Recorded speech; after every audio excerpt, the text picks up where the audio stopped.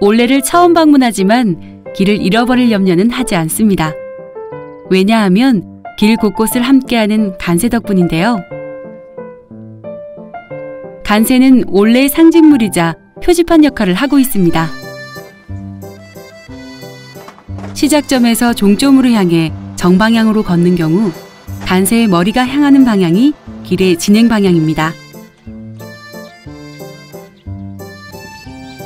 간세 외에도 올레 길잡이에는 화살표가 있습니다.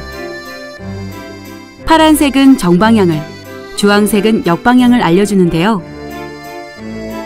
제주올레의 화살표는 방향만을 알려주는 것이 아닙니다.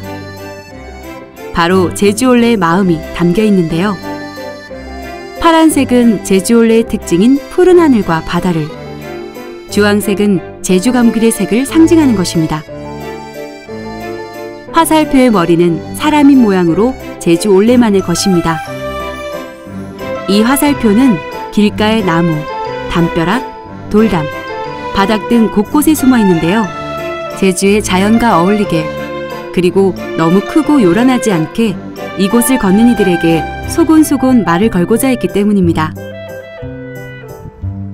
화살표로 하기 힘든 길에는 이렇게 나무에 메어놓은 리본으로 대신하고 있습니다.